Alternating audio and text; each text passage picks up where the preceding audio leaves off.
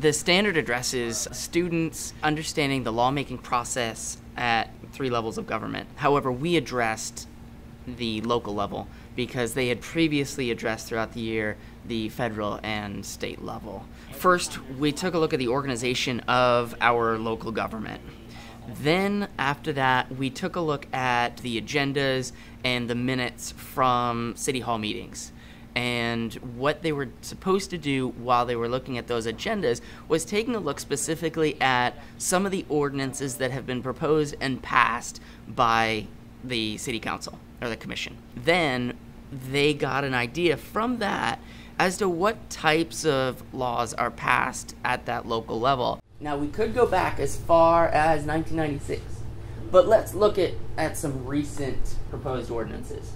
Now, what I'd like you to do is you're going to find introductions of ordinances, read through it, and some of it's technical language, so you have to use those context cues on each side of the words that you may not understand.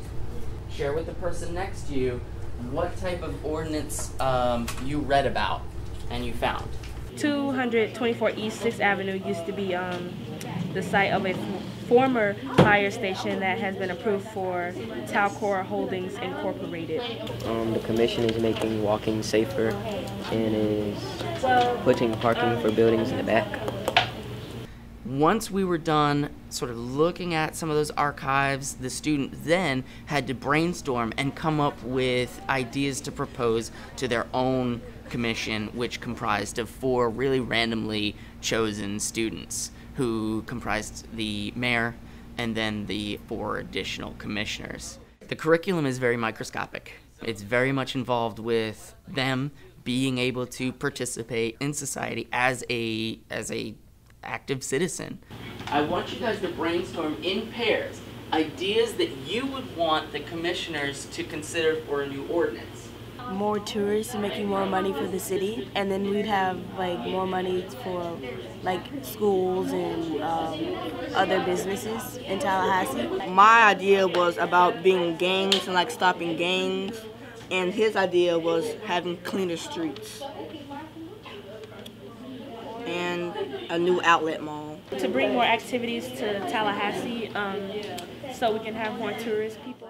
What was great was that the students took the cue from the agenda, from what they read online of the ordinances that had been proposed, and modeled their ideas after what had been done at the local level already.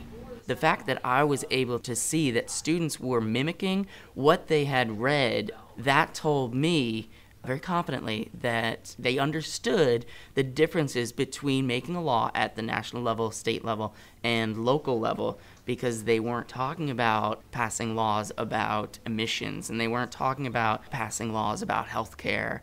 They were talking about very specific land ordinance laws. That's what they read, and then that's what they retained, and that's what they presented to their own mock commission.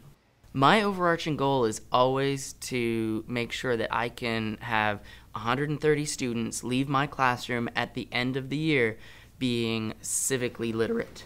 Now, this year, with the Florida standards, I had that added component to making sure that not only were they civically literate, but they could apply it in very real world experiences. And it's not necessarily, we need a new skateboard park.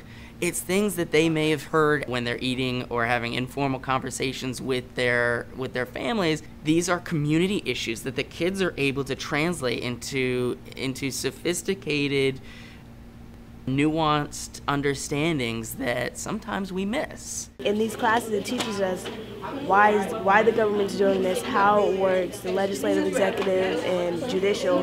So it'll help us later in life in work and just regular life local government it's it's well, basically it's where you live so you kind of want to know what's going on in your where you're living. When like we grow up we might be commissioners or mayors and we know we need to know how the world works and stuff so it's very important. Like for my mom she works for the state and she had to learn a lot of stuff and she's trying to teach me too. I bring the parents into the process through the students if I can get the students excited, they come home and they talk about what they learned in civics class and how they can contribute to their society, and they share that over the dinner table or wherever they meet with their families. Students can get involved in government at their ages. They don't have to wait until they're 18 years old and they can vote. I want them to, a year from now, two years from now, 10 years from now, be able to recall how to participate, or at least have the courage to participate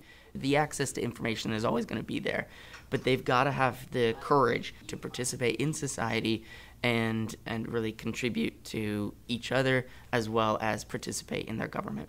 We can do this!